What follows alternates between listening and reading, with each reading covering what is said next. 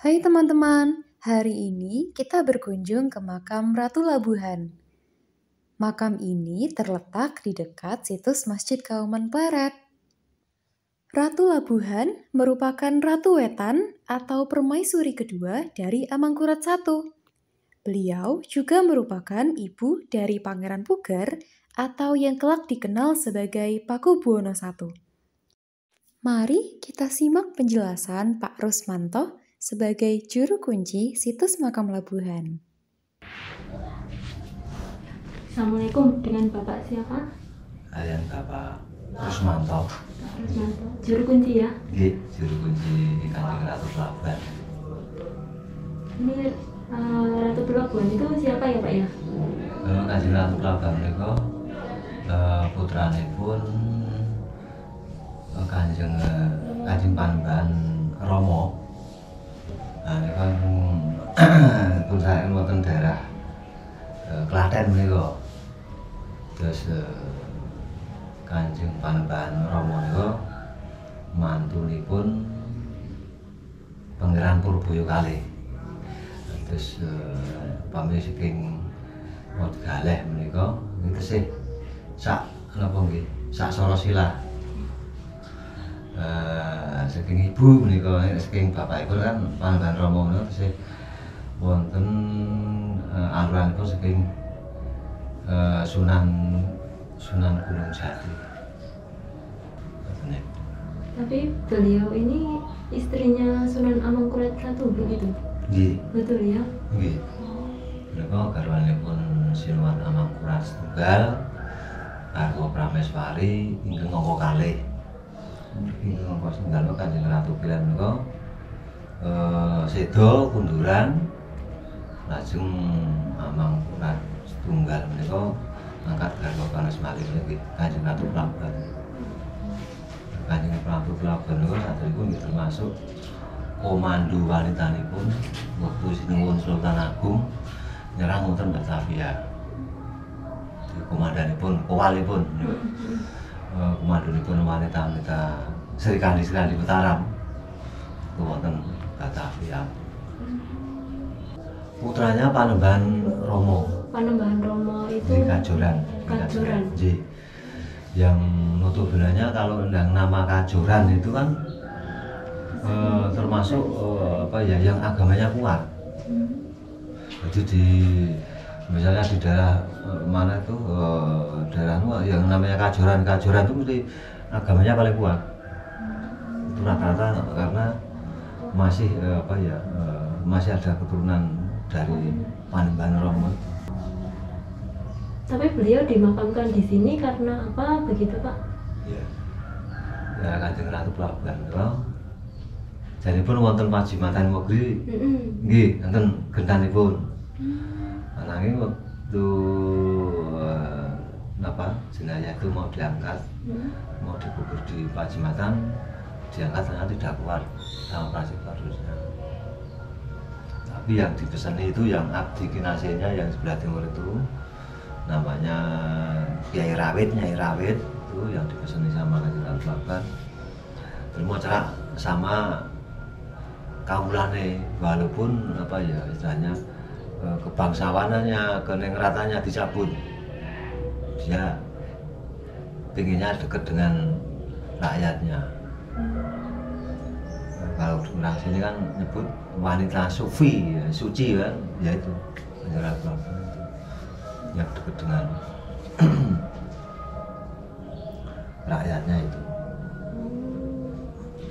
Oh, apa memang dulu di sini sini keraton kan ya? Iya, Oh, kan keraton di Barat. di Barat itu. Ya, ya, terus dimakamkan di dekat itu masjid agung kan masjidnya itu. Oh, Ya, situ. dimakamkan di dekat Ya. masjid begitu. Oh. Dan sini yang yang mengikuti Kanjeng Ratu Pelabuhan itu kan banyak. Eh, termasuk abdi-abdi dari prajurit dari eh, apa itu prajurit Suronoto dari anu kan juga dayang-dayangnya juga ada jadinya tapi Kanjeng Ratu Pelabuhan itu juga apa ya istilahnya eh, yang ngapunten menika kena kutu kena kutukan dari suaminya Amangkurat? Raja Iya. Amangkurat? iya Emang Sinuwun Mangkurat Agung kan banyak sekali waktu pemerintahnya tuh membunuh ulama bahkan sampai ribuan nah setelah itu kan banyak apa ya misalnya prajurit juga kaulanya yang memberontak sebenarnya itu memberontak itu niatnya itu cuman ingin apa ya ingin eh, menghilangkan apa menghilangkan Belanda dari muka Oh iya. muka keraton Mataram itu tapi yang ditanggapi oleh Sirona Mangkurat Agung dikira memberontak sama raja. Nah kebetulan eh, Trunojoyo itu kan juga Sirona Agung yang paling setia. Itu yang yang bedah keraton Pleret. Yang bedah keraton Pleret kan Trunojoyo.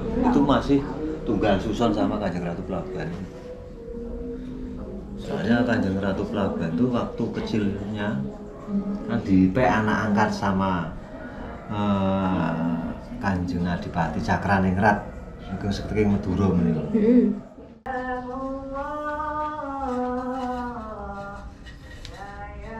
Ini yang asli ini. Ya, asli. Tulisan Arab ya Pak ya? Iya, Bacanya apa Pak? ini kan Kanjeng Ratu Palabuhan ingkang ibu saking Madura. Terus diganti? Kali ini ada tulisan lagi nih. Oh ada juga. Iya. Makanya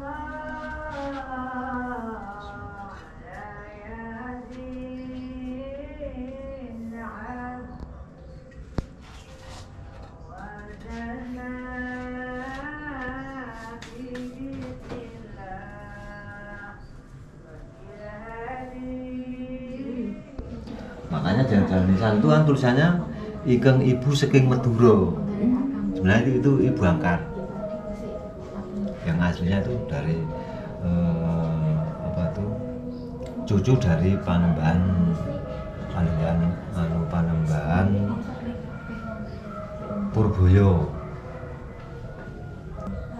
Berarti dia kutukannya di apa? Kutukannya apa gitu Pak? Nah, kutukannya dia dimakamkan di sini, makam sini itu jangan sampai terkenal seperti eh, Pajimatan, eh, Pajimatan atau Kota Gede atau Wat Gale. Karena ini membantu musuh. Nyai Rawit, Nyai Rawit. Itu Aku beliau? Putri, Beliau siapa? abdinya Kinasih Kanjeng Ratu. Yang ini sayang-sayang.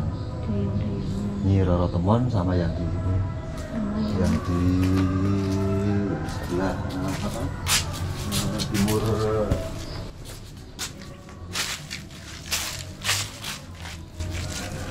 ini gaya-gayanya ya tilam sari dan tilam asih.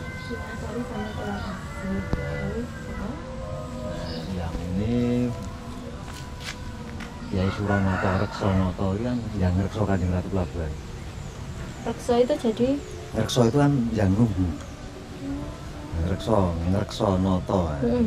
Jadi yang menunggu Kanjeng Ratu Karena kalau orang Sangsewu ini juga Senopati. Iya.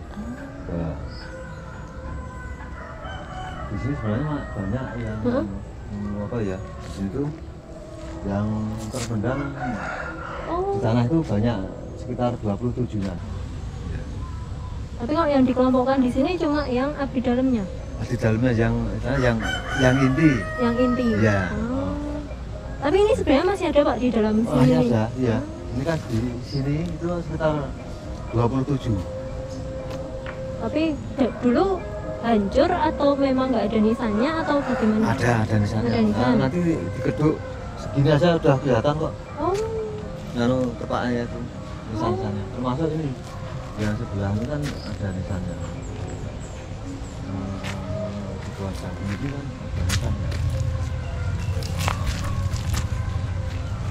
Ini kan nisan asli nih. Yang oh sapi ada yang sebelah sana ada jadi nanti gedung sedikit aja nah, seperti tumpahan batu batu batu ini nah ini bawahnya ada nah kelas ini kan makam Tapi kenapa kok tidak dibikin makam seperti itu, Pak? karena dulu dulu sini tuh anu apa ya waktu zaman Semono sini tuh tanah apa ya eh, jadi tanah kebun. Dulu kan anunya sini apa bedengnya makam di sini. Hmm, pas cor-coran sini. Nah, terus ini ternyata ada makam-makam itu. Yang dulu sana itu kan tulisannya juga Arab yang Suronoto itu tapi hilang ya sana nah, yang yang sebelah mana itu eh, baratnya pengimaman masjid itu kan ada makamnya termasuk makam Kiai Tunggul Wulung Itu beliau siapa? Tunggul Wulung kan usahanya ketunggule Hmm. ya